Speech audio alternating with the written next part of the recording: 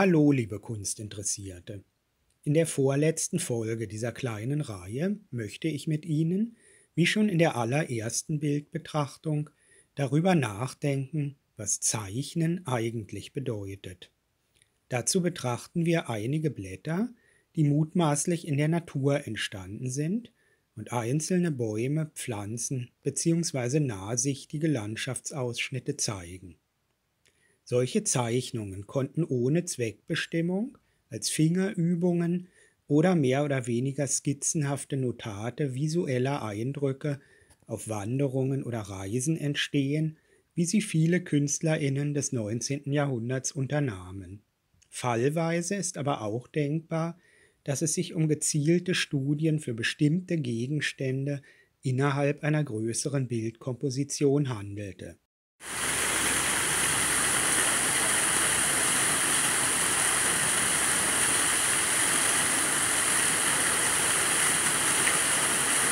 Das erste Blättchen, das ich Ihnen zeige, ist denkbar unspektakulär. Wir sehen nicht mehr als einige gekrümmte Bleistiftstriche auf der Rückseite eines sicherlich aus einem Skizzenbuch herausgetrennten Stücks Papier.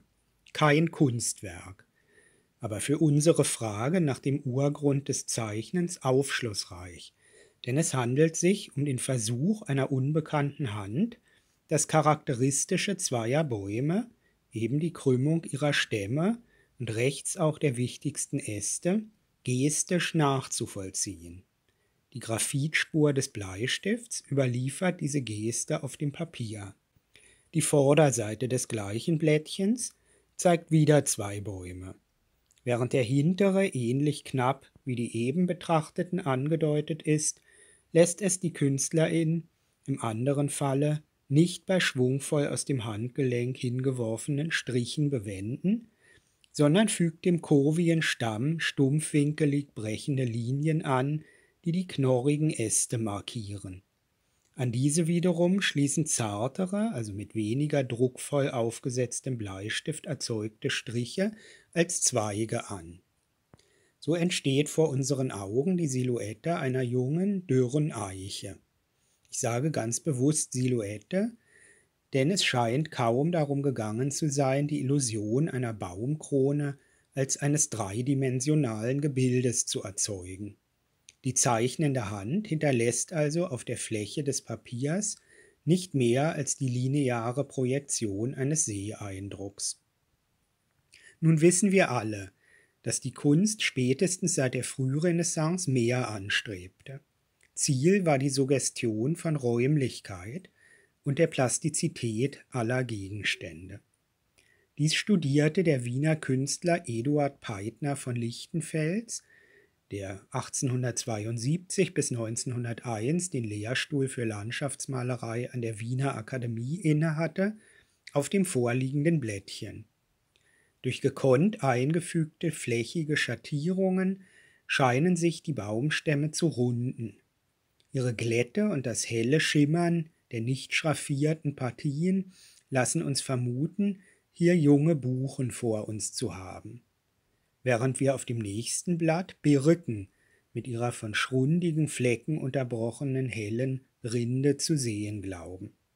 In beiden Fällen versucht der Künstler, durch teils linearen, teils flächigen Auftrag des Graphits oder auch durch Stehenlassen der Papieroberfläche ein dem Seeeindruck möglichst nahe kommendes Bild uns vertrauter Gegenstände heraufzubeschwören. Naturnachahmung ist sein oberstes Gebot. Dies gilt zweifellos auch für die folgende Zeichnung, deren Monogramm KB auf den Weimarer Landschafter Karl Buchholz hindeuten könnte, doch bleibt die Urheberschaft ungewiss. Der Gegenstand ist wiederum gänzlich unspektakulär.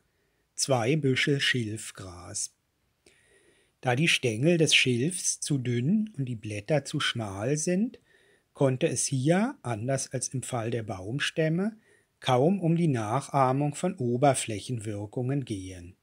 Die größte Herausforderung für den Künstler stellte offenbar das räumliche Verhältnis der zahlreichen sich biegenden und überkreuzenden Blätter dar. Dort, wo deren Gespinst am dichtesten ist, füllte er die Zwischenräume mit dunklen Strichlagen, wodurch die Blätter hell hervortreten. Eine Ausschnittvergrößerung macht deutlich, wie das Wirrwarr der Naturformen unter der Hand des Zeichners eine beinahe geometrische Ordnung erfährt. Plötzlich sehen wir nicht mehr im Wind wippende Blätter, sondern parabelförmige Bögen und elliptisch verzogene Kreisbahnen. Auch wenn dem Künstler dies gar nicht bewusst gewesen sein wird, bewegt er sich an dieser Stelle für einen kurzen Moment auf der Schwelle zwischen Naturnachahmung und Konstruktion. Wege, wie sie die Künstlerinnen des Kubismus und Konstruktivismus wenige Jahrzehnte später konsequent beschreiten sollten, wohnten also schon der traditionellen akademischen Zeichenkunst inne. Ungleich stärker tritt das Bestreben, eine Bildwelt nach eigenen Prinzipien zu konstruieren, in Zeichnungen von Wilhelm Trübner zutage. Trübner, 1851 in der Romantikerstadt Heidelberg geboren, fremdelte früh mit dem akademischen Unterricht. Viel wichtigere Impulse empfing er abseits der Kunststadt München im Kreis um Wilhelm Leibel. In den 1870er Jahren waren diese Künstler, zu nennen ist neben Leibel und Trübner vor allem noch Karl Schuch, so etwas wie die Speerspitze der Avantgarde in Deutschland. In unserem Zusammenhang ist zu bedenken, dass sich die Künstler des Leibelkreises in erster Linie als Maler verstanden und viele ihrer Bilder ohne zeichnerische Vorstufen direkt mit dem Pinsel auf der Leinwand erschufen. Dennoch entwickelte vor allem Trübner auch einen sehr markanten Zeichenstil. Bevor wir uns diesem zuwenden, sei kurz beschrieben, was wir auf der vorliegenden Zeichnung sehen. Gezeigt wird ein kleines bewaldetes Tal, dessen Boden mit Felsbrocken unterschiedlicher Größe übersät ist. Da die Bäume durch den linken und oberen Blattrand beschnitten werden, ergibt sich der Eindruck, mitten im Wald zu stehen. Ein Ausblick in freies Gelände gab es zum Horizont ist an keiner Stelle möglich. Allein aus der Verwendung grünlich-grauen Papiers, zu dem die silbrig-grauen Bleistiftstriche relativ schwach kontrastieren, ergibt sich eine neblig-diesige Atmosphäre. Die Strichführung beschränkt sich im Falle der weiter hinten stehenden Bäume auf knappste Andeutungen. Die Stämme werden zumeist durch zwei vertikale, ungefähr parallel gezogene, teils mehrfach ansetzende Linien umrissen. Einige weiter vorne stehende Baumstämme erhalten durch schraffierte Schattierungen ein gewisses Maß an Plastizität. Einen Baumstamm in der linken Bildhälfte spickt der Künstler mit kurzen Bleistiftstrichen und erweckt dadurch mit einfachsten Mitteln den Eindruck dünner, durch Lichtmangel frühzeitig abgestorbener Ästchen, typisch für unsere Fichtenmonokulturen. Ungleich markanter sind die Felsbrocken im Vordergrund gestaltet.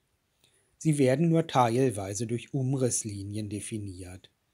In erster Linie erfolgt ihre Herausarbeitung durch Schattierung mittels Zickzack-Schraffuren unterschiedlicher Dichte und Druckstärke. Durch das Gegeneinandersetzen unterschiedlich ausgerichteter Schraffurfelder erscheint die Oberfläche der Felsbrocken facettenartig gebrochen. Diese Art der Schraffierung greift auch auf einen besonders markanten Baum über, der einen der Felsen mit einer Wurzel umklammert. Dieser eigenwillige Zeichenstil hat seine Parallele in der Ölmalerei des Künstlers. Wie schon angedeutet, ging Trübner in den 1870er Jahren unter Leibels Einfluss zur Alla Prima Malerei über. Das heißt, er trug die Farben nicht mehr schichtenweise nach zwischenzeitlicher Trocknung auf, sondern setzte sie nass in nass nebeneinander auf die Leinwand. Mit Vorliebe verwendete er dabei relativ breite Borstenpinsel. Mit ihnen malte er keine langen Striche, sondern kleine, annähernd rechteckige Farbflecken. Durch Variation der Zugrichtung wie auch der Farbmischung ergibt sich auch in diesen Ölbildern der Eindruck, die Oberfläche der dargestellten Gegenstände setze sich aus Facetten zusammen. Trübners Malweise weist dadurch erstaunliche Parallelen zum Stil Paul Cézannes auf. Aus der Nähe betrachtet zeigen diese Farbflächen noch die parallelen Spuren der einzelnen Pinselborsten. Wahrscheinlich handelt es sich bei den gegeneinander gesetzten Schraffurfeldern in Trübners Zeichnungen um einen Versuch, eine ähnliche Anmutung mit grafischen Mitteln zu erzielen. Obgleich der Künstler auf diese Weise eine sehr individuelle Zeichenmanier entwickelt hatte, scheint er der Wiedererkennbarkeit seines Stils nicht völlig vertraut zu haben. Geschäftstüchtig wie er war, hat er jedenfalls kurz vor seinem Tod 1917 viele seiner Blätter mit einer einprägsamen Signatur versehen, deren linienseliger Schwung an Kalligraphien des Jugendstils erinnert. Vorteilhaft war dies für seine Erben, die einen Großteil von Trübners künstlerischem Nachlass 1918 in Frankfurt versteigern ließen. Damit genug für heute. Ich danke Ihnen für Ihre Aufmerksamkeit und würde mich freuen, Sie demnächst zur letzten Folge der Grüße aus dem Lockdown auf diesem Kanal wiederzusehen. Ihr Andreas Kante